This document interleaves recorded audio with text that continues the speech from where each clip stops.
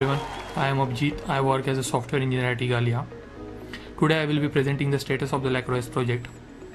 This lightning talk is a continuation of the previous talk at the BlinkOn 13 given by my colleague Antonio. Let us just recap what is LacroS. LacroS is an architecture project to decouple the Chrome browser from the Chrome OS window manager and the system UI. The name comes from Linux and the Chrome OS. Why LacroS? The goal of the project is to have an independent browser and the Chrome OS update.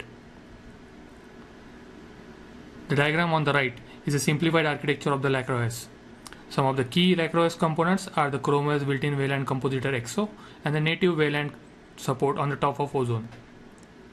Scope of the project includes adding a Chrome OS specific capabilities to Chromium Wayland so that it acts like a Ash Chrome web browser. Let's see and some updates.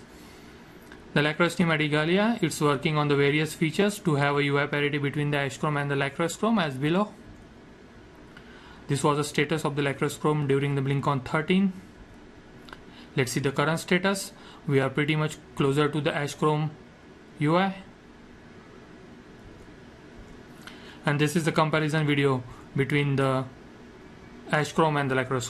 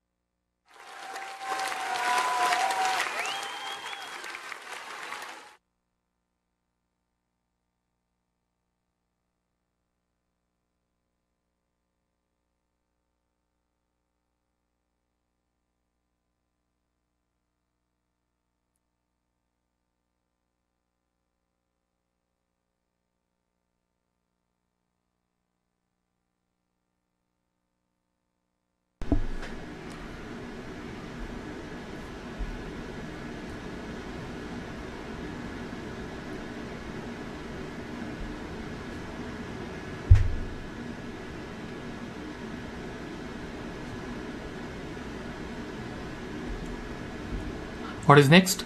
We are working on the tab strip support, fractional scaling for high DPI, web UI tab strip. Thank you. And if you have any question, please send an email to the LacroS team.